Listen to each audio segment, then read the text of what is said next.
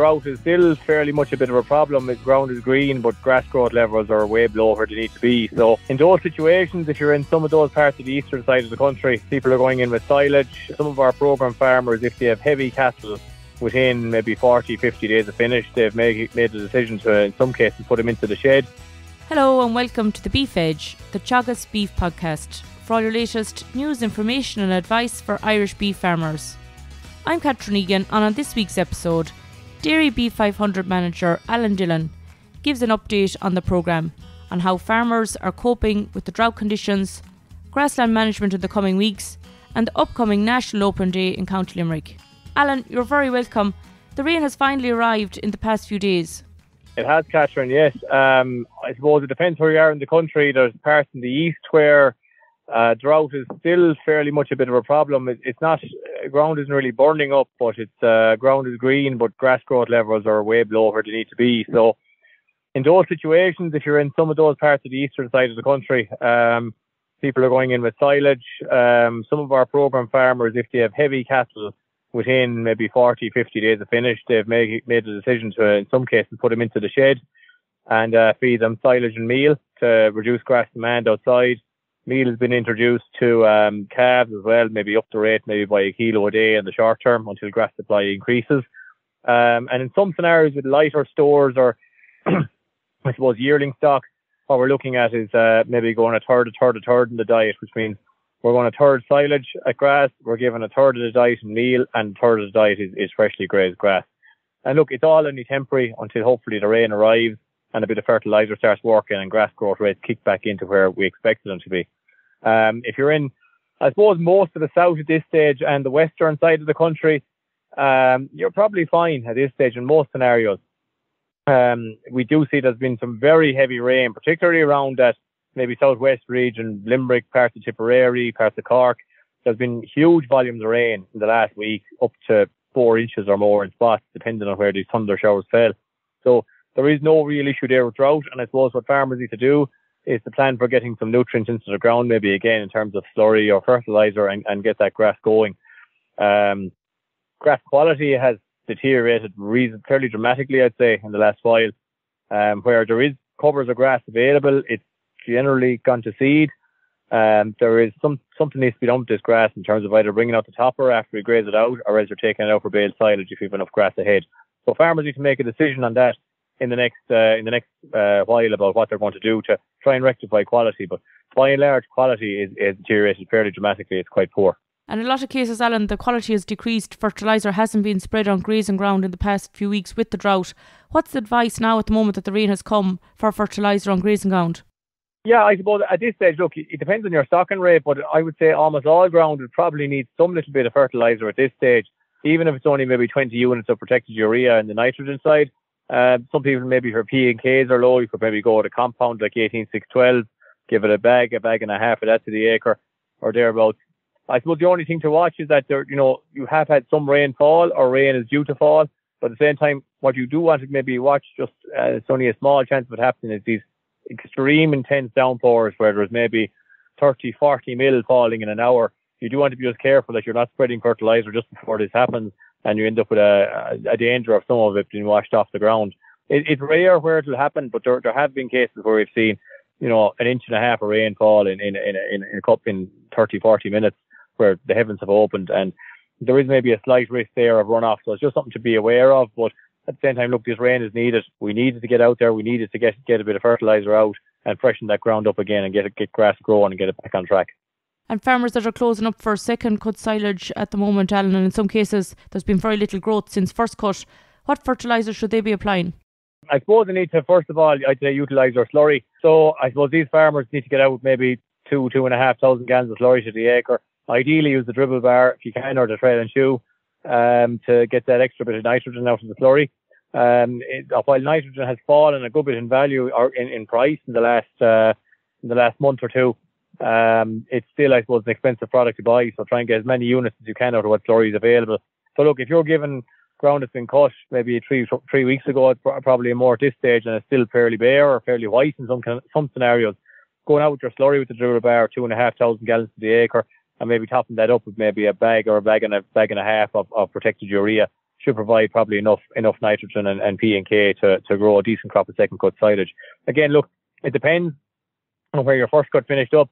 Some people had slurry out very early in the year when ground was dry in February, um, and were able to travel with fertilizer there come late March, early April, and they got excellent first cuts.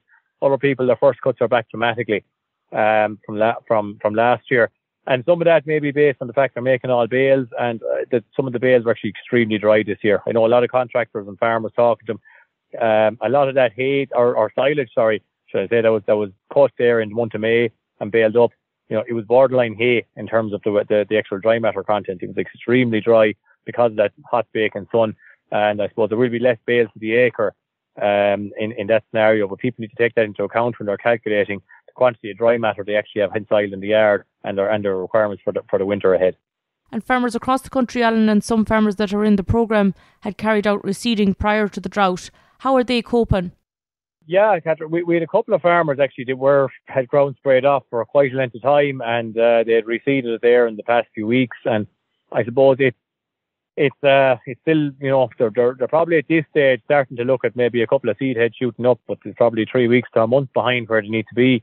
So there probably is a bit of a extra pressure on the system there if they're taking out a bit of extra ground for reseeding, um, based on the fact that these these swards won't be back in action for at least another four or five weeks.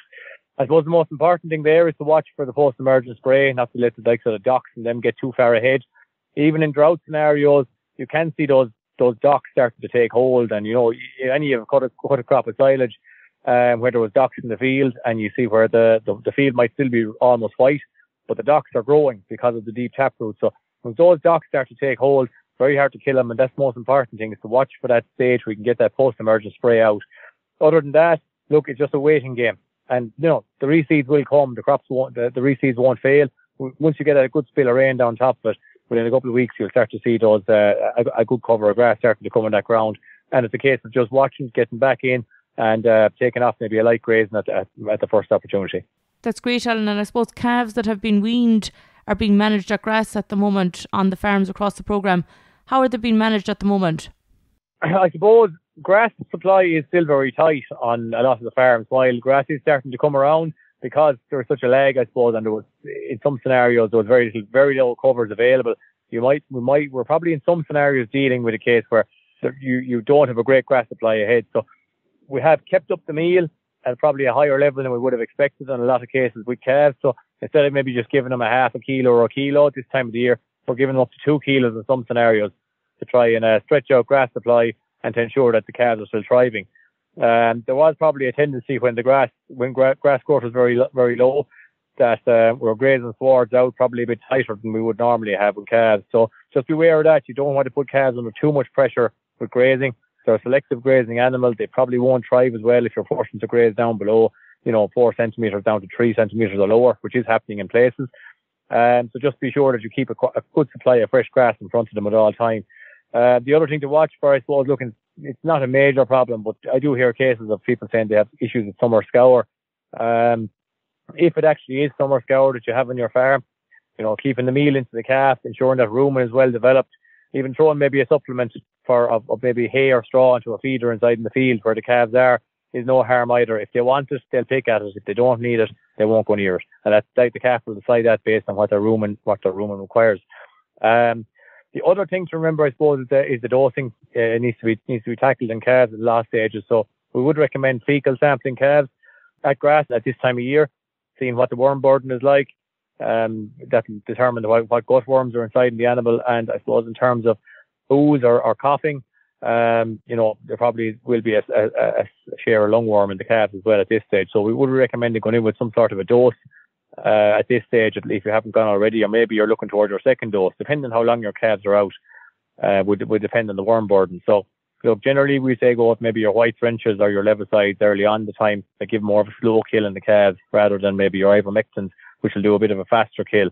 A slower kill is probably more preferable in a calf early in the stage of life particularly after the dry weather in the past number of weeks, lungworm will be an issue in the coming weeks, Alan. Yes, yes, definitely. Um, and I suppose for older stock as well, it's something to bear in mind.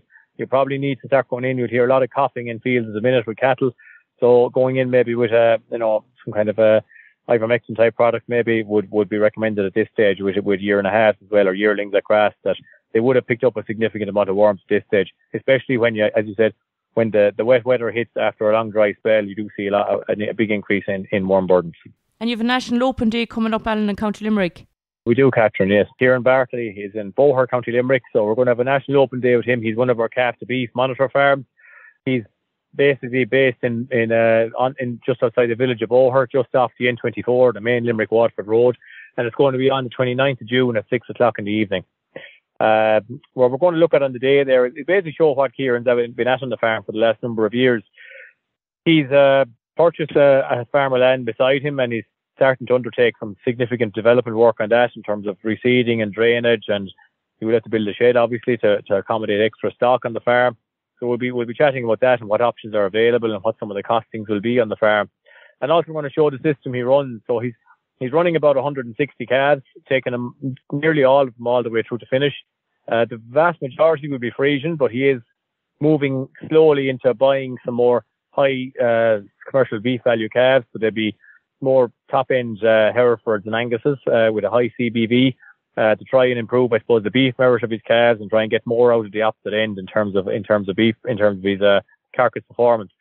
So we can we'll be talking about that and showing what he's doing on what I suppose is kind of a heavy farm. Some of it quite dry, but a lot of the land there will be a bit heavy in nature, and um, it, that brings its own challenges. I suppose he's probably benefiting now at this stage that he's not under too much pressure for grass growth, but during the springtime it was a significant challenge on, on that type of farm where we had huge volumes of rain uh, a lot of poaching, I suppose, we were trying to avoid as best we could. And um, I suppose a, a, late start to the grazing season, which, which brings its own challenges later in the year. That's great, Alan. We look forward to the walk on Ciaran Bartley's farm on the 29th of June at 6 pm. Thanks very much, Alan. Okay, thanks very much, Catherine. That's all for this week's episode, and my thanks to Alan for joining me on the show. You can catch up on all other shows and interviews from the Beef Edge podcast on the Teagasc website at teagasc.ie, or you can listen on Apple and Google Podcasts as well as Spotify. Don't forget to rate, review, and subscribe so you never miss a show. For all other updates from our beef programme, keep an eye on our Twitter and Facebook pages. Until next time, I'm Catherine Egan, and thanks for listening.